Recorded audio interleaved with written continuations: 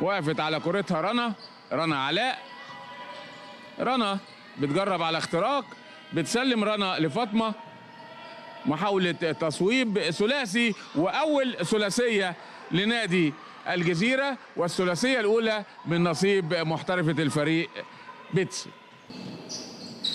تستلم مجددا رنا علاء وبتسلم رنا للفقي على تصويب تحت ضغط الوقت. وثلاثية أيضا لصالح فاطمة هاني.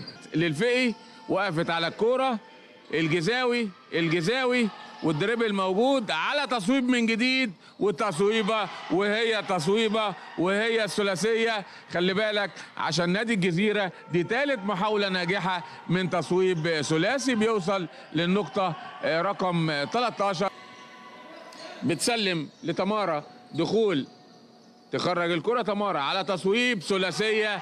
لا النهارده الثلاثيات ماشية والمرة دي عن طريق الفقي اللي بتسجل الثلاثية الثانية ليها. الأولى اللي بيحصل الجزاوي عملت الجزاوي بتسقط تحت الحلقة توصل الكورة لمين؟ لرنا. رنا بتنجح في التسجيل. رنا وادي أول نقطتين. أدي وصلنا للنقطة 22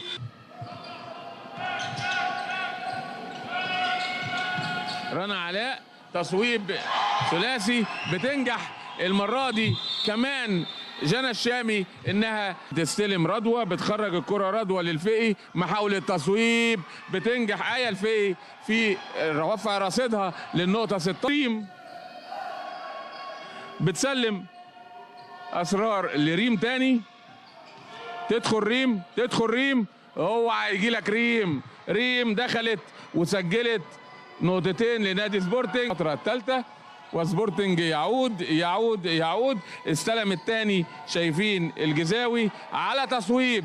المرة دي بتنجح هي الثلاثية. ثلاثيات نادي الجزيرة هي الدواء. عايز التسجيل من اختراقات.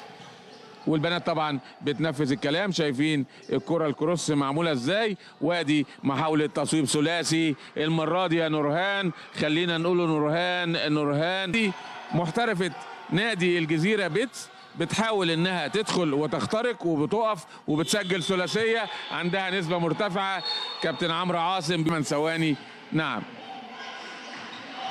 أدي ريم واقفة على الكورة على تصويب ثلاثية.